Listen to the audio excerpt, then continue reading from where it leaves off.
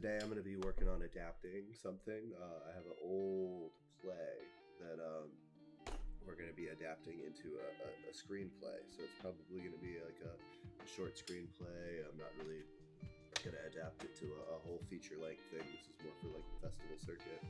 Um, so we're gonna we're not gonna go over the play because it's really old.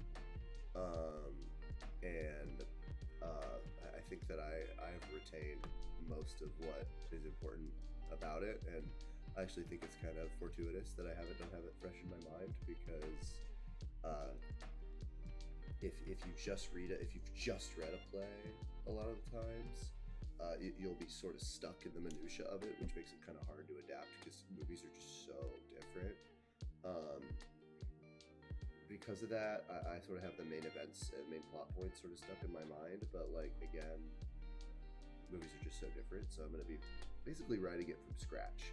I'm just lucky enough to come away knowing the story, so I'm not gonna be like making up the story as I go. But a lot of it is gonna have to change. So let's get to it. We're gonna basically be working through. Um, we're gonna be working through John Truby's Anatomy of Story. Um, because it's one of the better books that I've read about um, screenwriting. Um, I posted like five books or something that I really like on my Instagram, and, and this was definitely one of them, if not the one. Um, so I'm gonna sort of pull up the exercise pages uh, when I get to them, but like the main thing he does sort of in chapter one is like what kind of story is it, and mine's gonna be pretty more of like a a, a spiraling kind of story. Um, it circles inward towards the center. Like most um, most stories follow a sort of Freytag pyramid, um, or like a hero's journey type thing. Which I mean, this has a hero's journey, but like it, it, it's sort of it's not going to be like you know Frodo gets the ring and goes to Mount Doom. Like it's not going to be that kind of standard type of thing. Um, it's going to be you know two sisters reunite in the house, their like childhood house, and then and it's not them like hashing out their life. It's sort of figuring out you know who they are to each other. Um, of course, with there being like an overarching goal and plot and some sort of nefarious like backstories and some sort of uh, I have some twists and stuff that I want to do.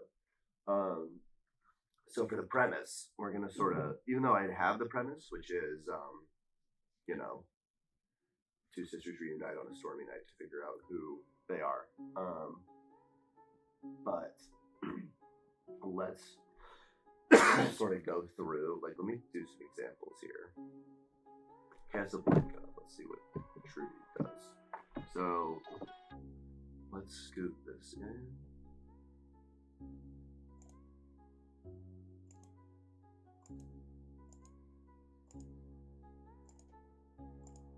All the way over, perfect. Um, so for Casablanca, uh, Truby says a tough American expatriate. Uh, rediscovers an old flame only to give her up so that he could fight the Nazis. Great.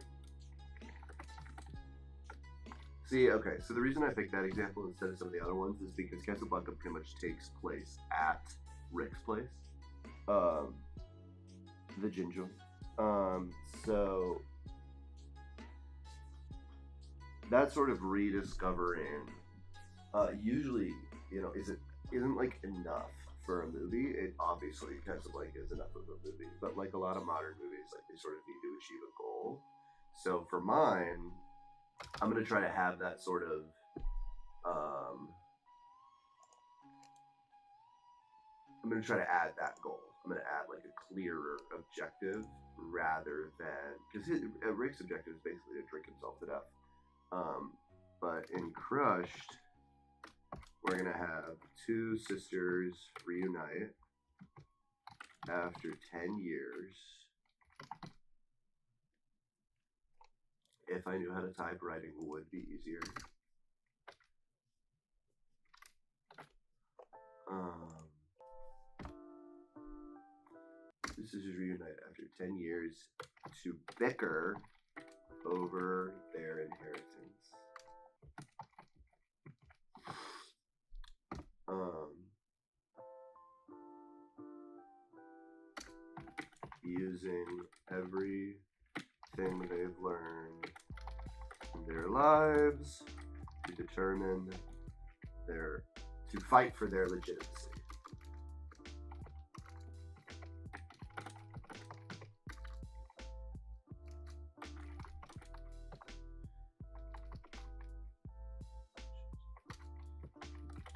Great. So this is a little long.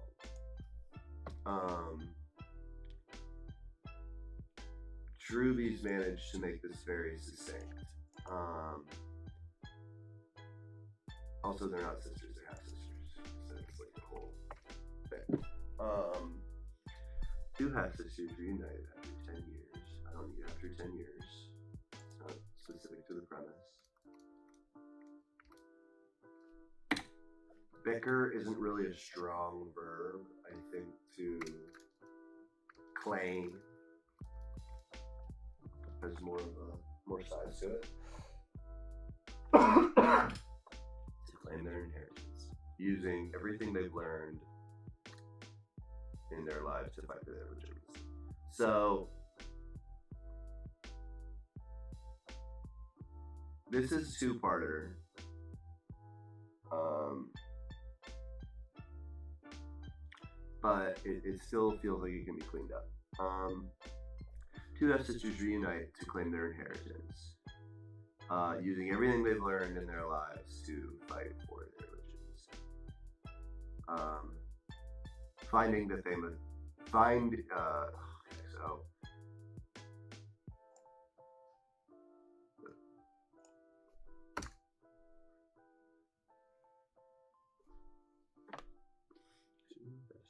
Reunite to claim their inheritance.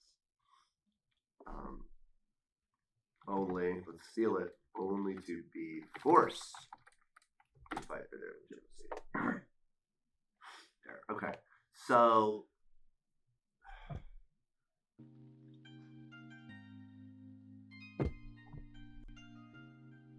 that's a good start. Great. So let's go down here and we're going to do the exercises. We're just to work our way through this whole thing. We're to get as far as we can into the book. I'll probably do some, some actual writing, not just um, not just outlining. I'm going to try to do like all the outlining that I can, um, which means I'm going to have to get all the way to plot. Which, if you look at the book, which I'll pull up the thing. Um,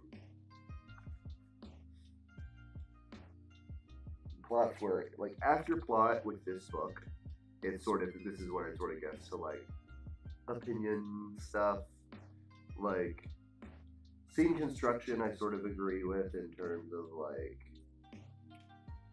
I don't know. The whole book is great, actually. I mean, it's just like you know, after you know, the whole book you should just believe it's great. Uh, this is the best book in sort of terms of writing something that you're actually going to have a screenplay at the end of it. Um, but uh, after plot, I can just sort of do. I don't need to do the last three chapters. I can just sort of write the, the screenplay. Um, write down your uh, exercise one. Write down your premise in one sentence. Done. Ask yourself if this premise line is the makings of a story that could change your life. Okay, so there's other things about this story that I really believe in and really enjoy, um, which is why I wrote it when I wrote it as a play. But I don't think that being able to prove that something could change your life is kind of asinine. Um, like if you look at the premise of like like a hundred years of solitude, it the premise of a hundred years of solitude is like very kind of similar in that it's like a family fights for their like legitimacy in a world that like wants to destroy them. Uh, that's like such a vague premise. Obviously, there's a better way to phrase it, but like you can't tell in the premise if the movie is gonna be good. Um, because like some movies have like a solid premise and then the movie's absolutely trash. Um, and then you'll have stuff like like even this tough guy meets girl that he hasn't seen in a while and then doesn't end up with her and then goes and fights Nazis, which he doesn't even do in the movie. He just leaves at the end of the movie. Um, sounds like you know this is where it's really doing. Um, but you watch it and it's amazing. So I'm fine with that for the premise. Wish list and premise list. Write down your wish list and your premise list. Study them together and identify the core elements of what you care about and enjoy. Um, possibilities. Look for what is possible in the premise. Write down options. Okay, so the possibilities. Things you can explore in this. The possibilities.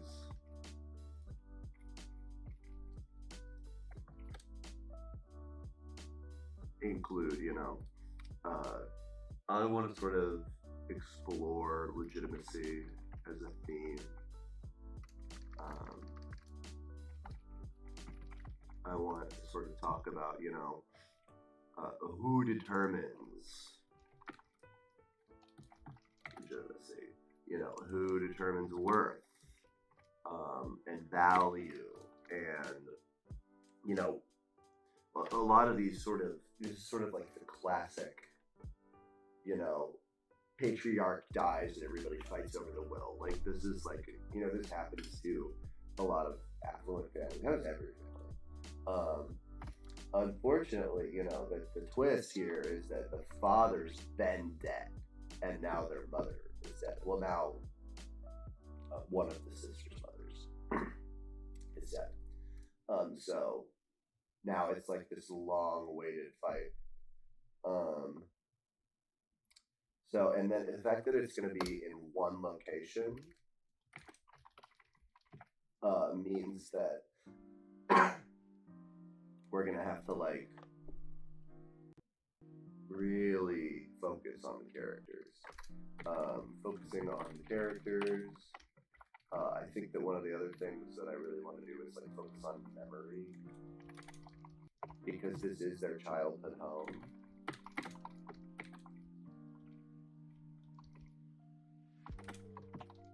So let's see how we can include the past visually. Um, because I don't know that we're gonna be, we're not gonna be like hiring children for this. I mean, we might end up doing that. I don't know, but like when they said when they said I want to be adapted, it's it's it's just a play. It's not like in a play you can have the same actors play themselves as children, whereas in film that just kind of looks weird. You can have other actors play children in plays, but like doesn't really doesn't really work in movies. Um, all right, story challenges and problems. That would be the problem. So these are all the possibilities of like thematic things that we can sort of explore here. Um, when he talks about like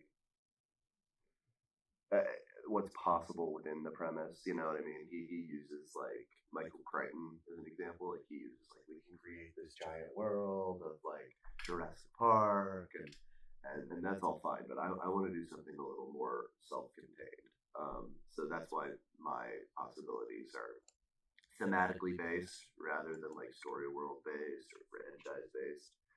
Um, challenges and problems. Ch- problems. One location. We get one location. It is a great location. We secured an amazing location, but we only have one.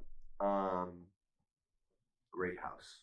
Uh, also, you know, we've only got two, maybe four actors, and we might be able to sneak in this one shot for a second location, but I don't even think that's gonna happen. But I'm just gonna, because uh, we might see the mother and father, maybe. Do we even see the other mother because they're half sisters? Other mother.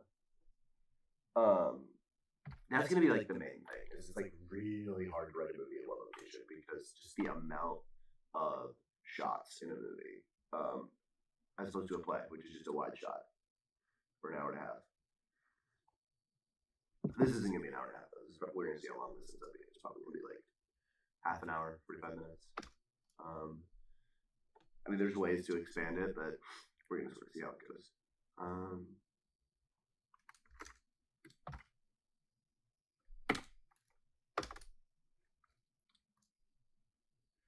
great. Uh,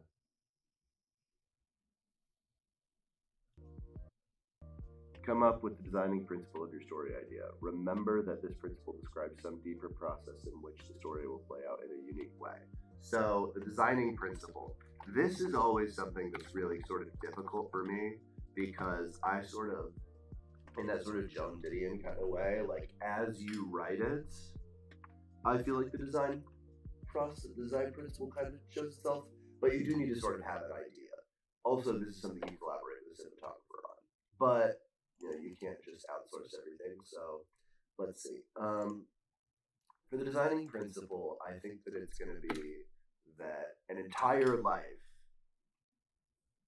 you know, it's that what's that Salman Rushdie quote? Um, in order to understand one life, you have to swallow the world. I think that you know the reverse of that is also true. Um, that you know, if the entire world affects one life, one life does have the potential there to affect the entire world through some sort of ripple effect, like like the same way a father has the potential to affect a large number of people in his family and from them other people's lives. Um, I think ghosts are very important in this. So that's oh yeah, that's what we were gonna do. I was thinking about that last night. Um, so what we're gonna do here is this is sort of gonna be a sort of Derridian ghost story.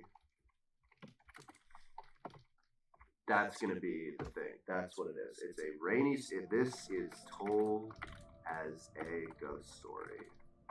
It's gonna be spooky parts of it are going to be spooky. It's about trauma, um, spooky trauma.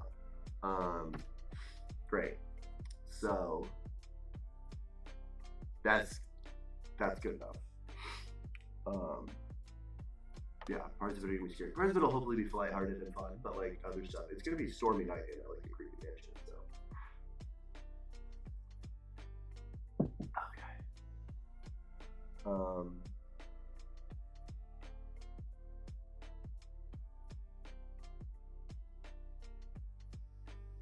All right, best character. Who's the best character? Uh, I mean, I have my own preferences, but when I did the play, um, different people like different characters more because there's only two of them.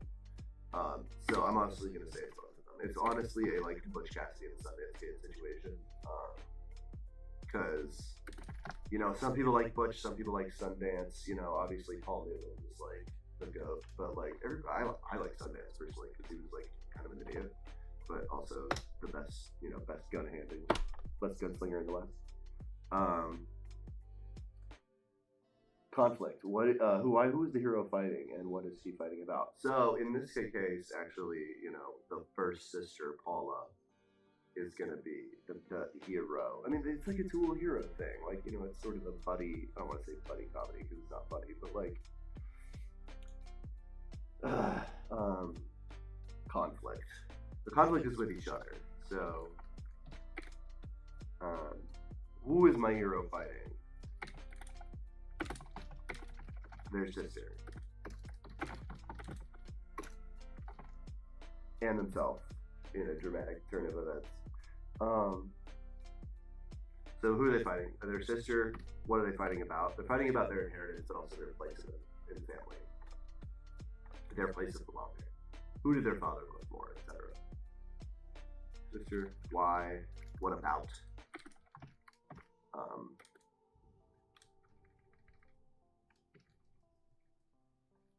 inheritance.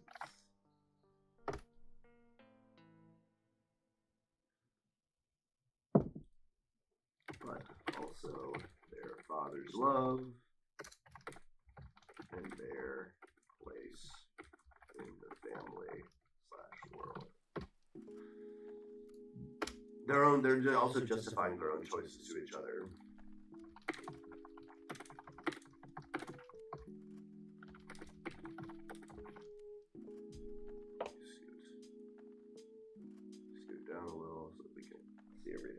There we go. Um, so next, we're gonna do character change. Okay, this is um, this sort of gets into more in the later chapters, but uh, figure out the character arc for your hero, starting with their basic action A, and then what the they're going, and then going to the opposites of the basic action to determine the character's weakness and the beginning of their change. So AW equals C. A.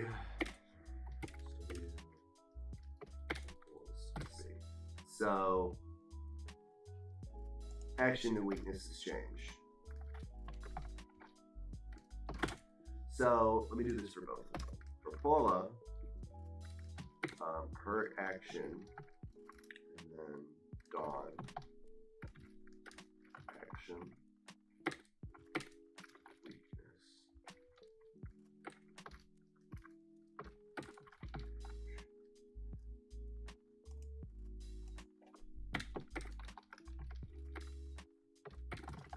So let's look these in. So for Dawn, I know her weakness is vulnerability. Like she just cannot.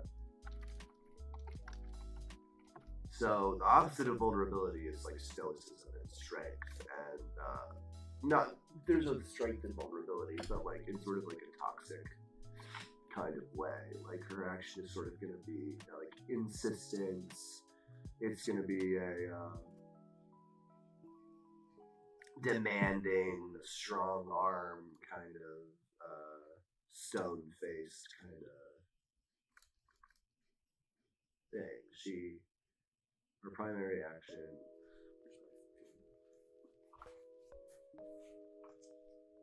There's a book I have somewhere that's just a list of freaking verbs. Um, but it, it's she she was a boxer in high school.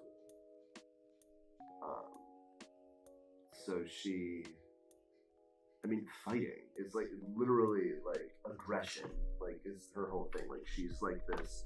The original inspiration for this, I'll just say as pretentious as it is, was I was really inspired by the birth of tragedy and how there's two types of art.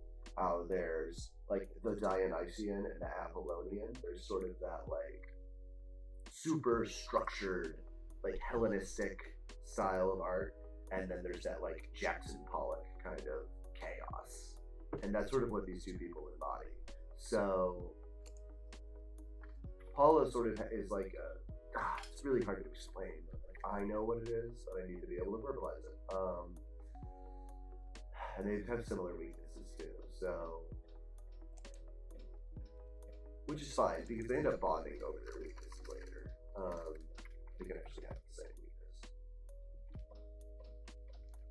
but and they're just both so different, but they are so the same at the end of it. Like that's the whole point. Um, so reason and logic are gonna be like her main. She like reasons her way, she argues her way into shit.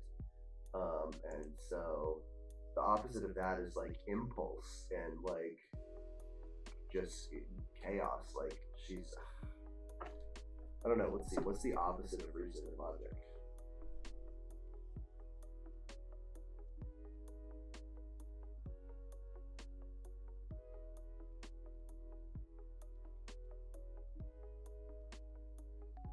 So irrational, non-rational, non-thinking, unintelligent, unreasonable, unreasoning, unthinking. And see, that's sort of the problem is that everybody sort of feels that Dawn's that way, but she's really she has an emotional intelligence. She's like an impulsive, uh, a um, like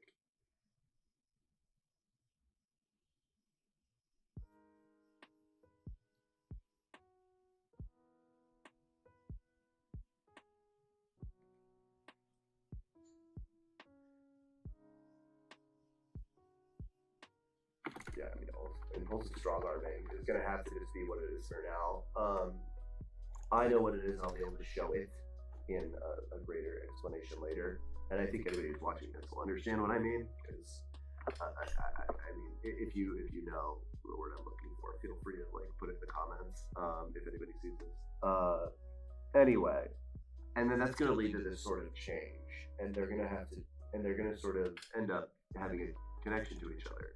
And so that change is that connection is you know, not everything makes sense, but that doesn't mean that it's wrong. Um, that there's room for everyone is kind of this thing. Like she, if if, and I mean honestly, you know, being vulnerable does mean sort of abandoning reason and logic, and and when you have this fight or flight mentality, like Dawn does as well, uh, you know, vulnerability is an abandoning that as well. It's sort of this openness, that's sort of this. Uh,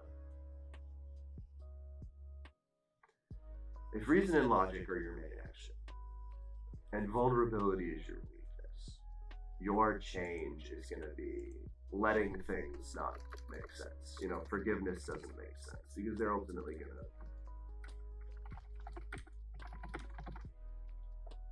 um, forgiveness doesn't make sense. But and that's sort of the same thing for Dawn, but like um, forgiveness makes you feel opens you up.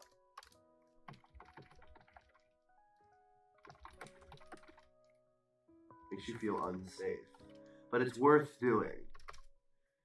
But it's worth doing. Um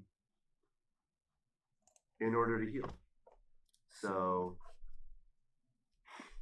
now we have uh, the moral choice, which is going to be uh, list of moral choice your hero may have to make near the end of the story. Make sure it's a difficult but plausible choice. So.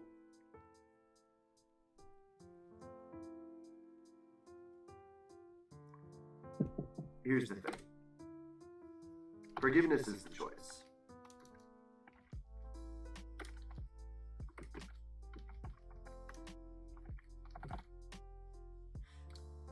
Like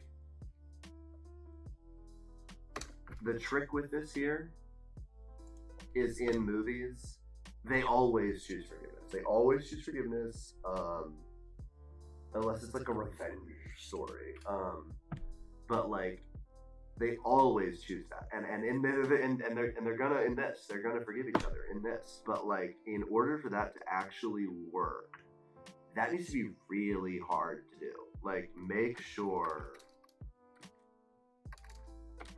forgiveness is difficult.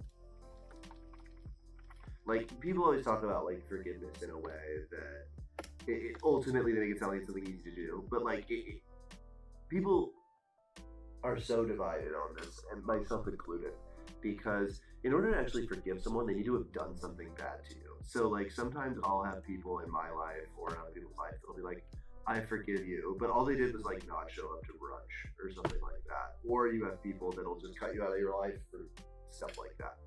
I think that forgiveness is this powerful thing and it's this dangerous thing um, where you have the opportunity to sort of see someone as they are and then accept them or don't.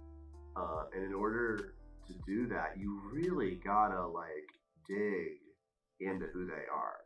So like I, I think that like they're gonna forgive each other, but they need to have really hurt each other the way like only families like understand that are really hashing it out understand. Um, and now we get to the stupid one, which is audience appeal. Um, which this is going to be more of the producer's problem, but I think that like the designing principle of it being like this ghost story with like trauma and like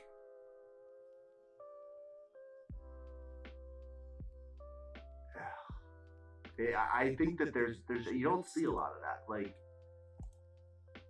go away. Um you you don't. Um I don't know that it'll appeal to a wider audience though, because it does kind of have like an art filmy kind of thing. Having the, the genre of it being like a story will help, but like that movie's also I I'm, I'm sure that movie's been done before to a certain degree. Um,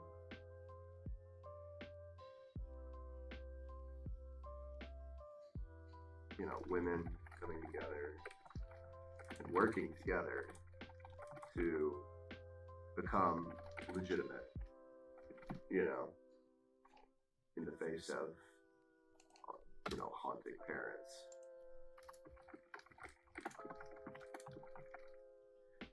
Um, yeah, I think that that's definitely possible.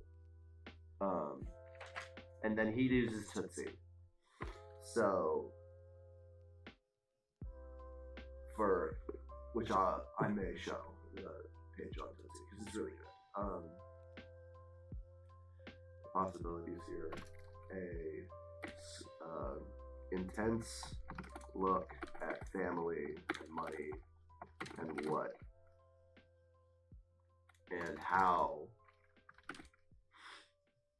two perspectives of memory can be so different. Because you'll talk to people who have different backstories that like lived in the same house and their like experiences will have been so completely different that uh it'll be like, did you guys live, in, live, live with the same family? And it'll be like, no, no. Um, cool. So that's chapter one. So I'm gonna cut it there, and I'm gonna have some coffee, and I'm gonna come back, and then we're gonna do chapter two, chapter three, which is the seven key steps of story structure, which is probably one of my more favorite chapters pretty, uh, it's pretty straightforward, and it really helps you uh, figure out what the movie's gonna be.